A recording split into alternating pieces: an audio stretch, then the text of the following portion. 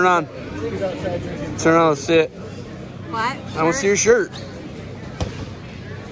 Who made the front of the shirt? My daughter, Lina, Let's see it. Where'd you draw that? on the um, on our driveway. That's why. That was literally on your driveway? Yeah. So is that a picture of it that you took to somebody and they made it? Yeah. And they were able to do that? That's actually pretty cool. We went through like a couple different shirts and a couple different designs because we wanted it to look chalky. She just like made it one day. We What is it? Um, it's a tree. I know that. It looks like almost like a Christmas tree.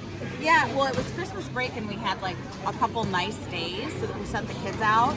And she just drew it on the driveway one day. And It's pretty we sweet. Went, she's like, Mom, look. Nina and, Burnett. And we went out and we posted it on Facebook. And Eric asked her. Eric's like, Eric lost his mind and wanted it. Yeah, he asked her. Um, I don't know what where we were, but he asked her at. Um, and said, "Can we use this and let's do something for Oklahoma?" So it was cool. Let me see the back again. Yeah, Ron, yeah. your You- father-in-law, Ron. You can go to our website too. There is um. Oh God. Did you get it? I got it. It's wild. It's always wild. I got to click back today. You can go to www.burnetttrain.com and there's a link that says the Ron Burnett Scholarship Fund. So if you want to donate, send in money.